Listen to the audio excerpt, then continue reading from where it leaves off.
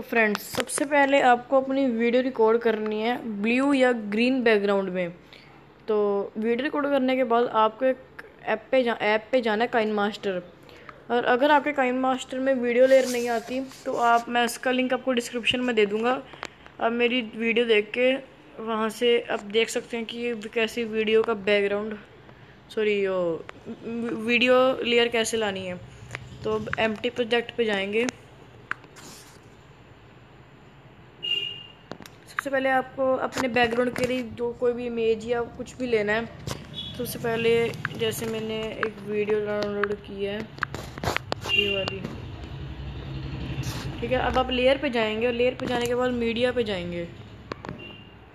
और अब आप, आपने जो भी अपनी वीडियो लगानी है जो से आपने रिकॉर्ड किया है ब्लू ग्रीन बैकग्राउंड में आप उसे लगा लें। तो मैंने वीडियो रिकॉर्ड की थी कहाँ गई? हम्म।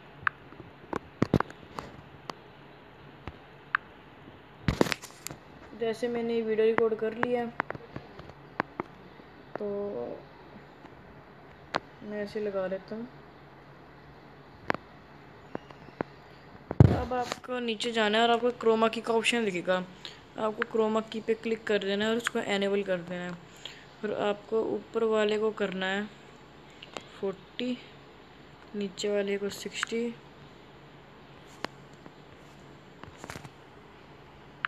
ठीक है अब अब देखिए।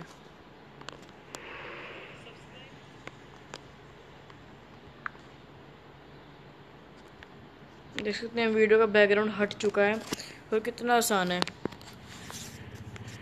तो अगर आपको मेरी वीडियो पसंद आई हो प्लीज़ मेरी इस वीडियो को लाइक कर दें। और अगर आ, अगर आपको पसंद नहीं आई तो प्लीज़ मुझे बता दें कि मेरे को क्या चेंजेस करने चाहिए कमेंट करके। तो अभी के लिए वीडियो यहीं पर ख़त्म कर देता हूँ मैं। तो मेरी वीडियोस देखने के लिए सब्सक्राइब कर दें थैंक यू तो अगर आपको मेरी ये वीडियो पसंद आई हो प्लीज़ मेरे चैनल को सब्सक्राइब कर दें और आपको दो वीडियोस दिख रही होंगी, आप उनमें से देख सकते हैं, आपको बहुत इंटरेस्टिंग वीडियोस हैं. Thank you